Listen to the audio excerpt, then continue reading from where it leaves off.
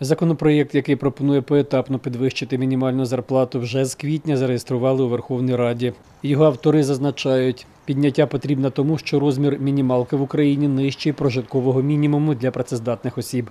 Ще в грудні фактично його розмір становив 7539 гривень, а мінімальної зарплати 6700.